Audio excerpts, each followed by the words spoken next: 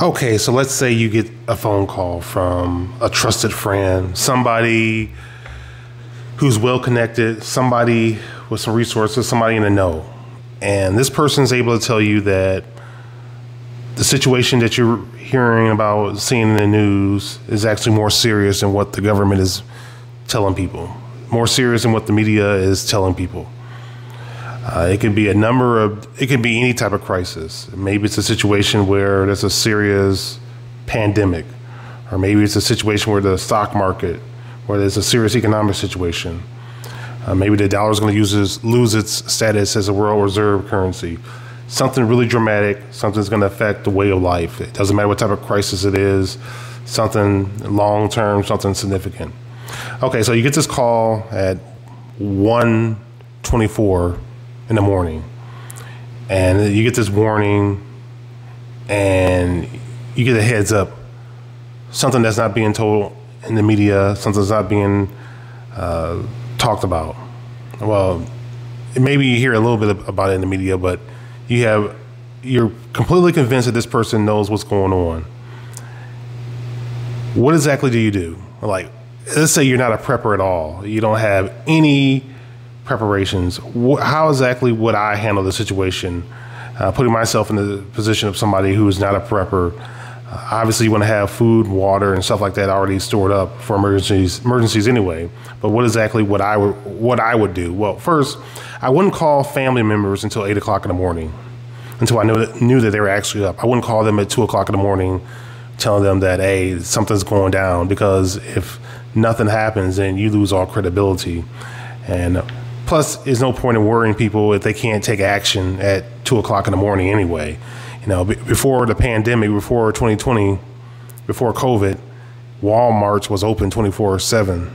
So in that situation, if you got a call at 1.30 in the morning, you could have went immediately to Walmart and got a lot of the stuff that you really needed. But since that's not really the case in the places where I've lived, in Kentucky and Georgia, I don't see any Walmarts being open 24 7. I think that's the way it is nationwide. Correct me if I'm wrong, as of 2023. Here's what I would do. First thing I would do is go to a gas station. Yes, gas station. I would get gas cans. I would fill up my vehicle. And by the way, it's a good idea to have at least half a tank at all times. You never want your tank to get down to E. It's bad for the vehicle, it's bad for the fuel pump. But if I didn't have enough gas, I would definitely top off the vehicle. That's the first thing I would do. Also, at the gas station, you can buy some water. So if Walmart is closed, the gas station's open, you can buy some water. Very important, I would go to the ATM and get some cash. That's something I would do. So that's something you do in the middle of the night, especially if it's like 11, 23. And the reason why I say that is because a lot of times when you have a bank account, you, you can only pull out so many, so much money per day. So like if it's 1107 or 1135, first place you should actually go is get an AT, go to the ATM and pull some money out, right? Before midnight. Then you go to the gas station, fill up, buy some water at the gas station. Usually you can buy a lot of bottled water at the gas station, right? then when it's 1201, you can also go back to the ATM and also pull more cash out. That's if it was a big situation. Cash would be king. Okay. Uh, in the morning, well, around six o'clock in the morning when the grocery stores open up, or whenever Walmart or whatever open up, I actually aim for a, um, a more high end store, actually, because uh, you might have less people to really contend with in that type of situation. But uh, you could go to a Walmart, and I would go there. I would look for a stove, for alternative heat, especially if it was in the winter. I was in Michigan or somewhere, or Maine or somewhere. Get a big buddy heater.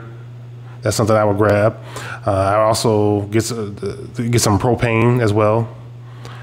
Uh, just be aware of you know using that in certain areas. But anyway, uh, first aid, of course, cleaning wipes because if the water stops working, you got to find a way to wipe yourself down and have some type of sanitation. You might want to pick up some kitty litter, speaking of sanitation, in a bucket so you can have something you can use the restroom with. Just an idea.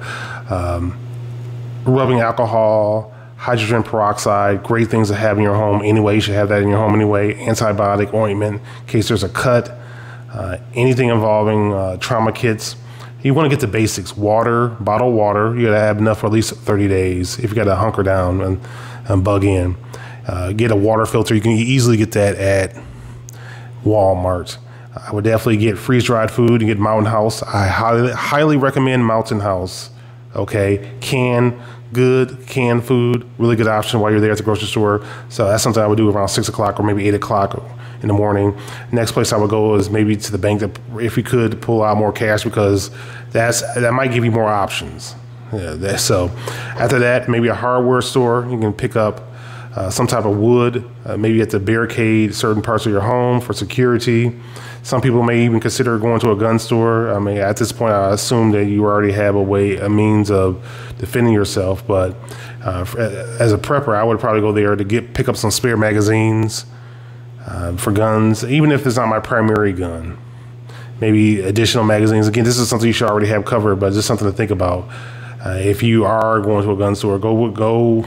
Well, if you don't know what to get, uh, just go with the Glock 17, call it a day. But yeah, I mean, just spare parts, like extra uh, guiding rod, holsters too. That's another thing. People buy guns and they don't have a proper holster. They just uh, they just assume that they're going to use it as a nightstand type of gun. Um, one of the things, a practical thing somebody might want to do in that situation is use one of their vacation days. So, uh, but in that situation, you would have to be really careful who you included. Uh, you know, you would have to be careful how you spread the news as well. You wouldn't want to freak people out, and you know, because if that's why I would say I would wait until eight or nine o'clock when everybody woke up, and sort of encourage family members to get some extra food or whatever. Uh, you may even once you're done shopping, may even want to go shopping for them as well.